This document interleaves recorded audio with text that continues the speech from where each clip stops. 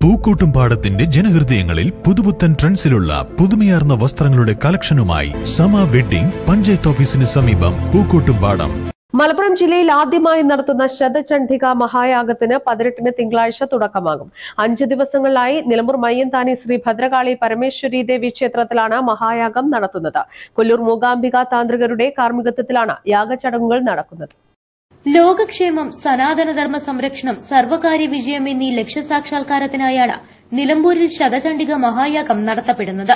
പതിനെട്ട് മുതൽ ഇരുപത്തിരണ്ട് വരെ നടക്കുന്ന മഹായാഗത്തിന് കൊല്ലൂർ മൂകാംബിക താന്ത്രികരായ കെ എൻ നരസിംഹാടിക സുബ്രഹ്മണ്യാടിക തുടങ്ങിയവരുടെ നേതൃത്വത്തിൽ അറുപതോളം അർച്ചകർ കാർമ്മികത്വം വഹിക്കും. പ്രപഞ്ചത്തിന്റെ നിലനിൽപ്പിന് ആധാരമായ ചണ്ഡിക ദുർഗാ പരമേശ്വരിയുടെ അനുഗ്രഹത്തിനായാണ് മഹായാഗം സംഘടിപ്പിക്കപ്പെടുന്നത്. ദേവിയുടെ ഒൻപത് ഭാവങ്ങളെ സങ്കല്പിച്ചുള്ള വ്യത്യസ്ത പൂജകൾ യാഗശാലയിൽ നടക്കും.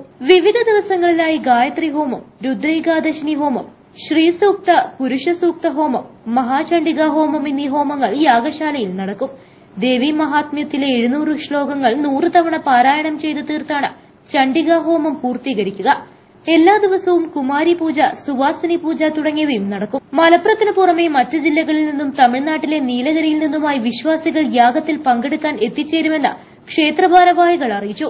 വിശ്വാസികൾക്ക് ജീവിതാഭിവൃദ്ധിക്കായുള്ള ഹോമങ്ങളും പൂജകളും യാഗദിവസങ്ങളിൽ വഴിപാടായി നടത്താൻ സൌകര്യമുണ്ടായിരിക്കും. പ്രത്യേക പൂജകൾക്ക് പുറമെ ദ്രവ്യസമർപ്പണമടക്കമുള്ള വഴിപാടുകളും ഭക്തർക്ക് നടത്താൻ സാധിക്കും. യാഗശാലയുടെയും ഹോമകുണ്ടങ്ങളുടെയും നിർമ്മാണം അവസാനഘട്ടത്തിലാണ് കരിക്കാട് ശങ്കരനാണ് യാഗശാല ശില്പി. യാഗത്തിന് തുടക്കം കുറിച്ച പതിനേഴിന് ഞായറാഴ്ച മൂകാംബിക താന്ത്രികർക്ക് ക്ഷേത്രത്തിൽ സ്വീകരണം നൽകും.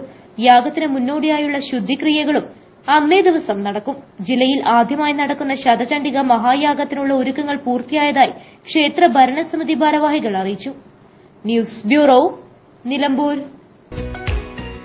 Real fruit power real juices from Dabur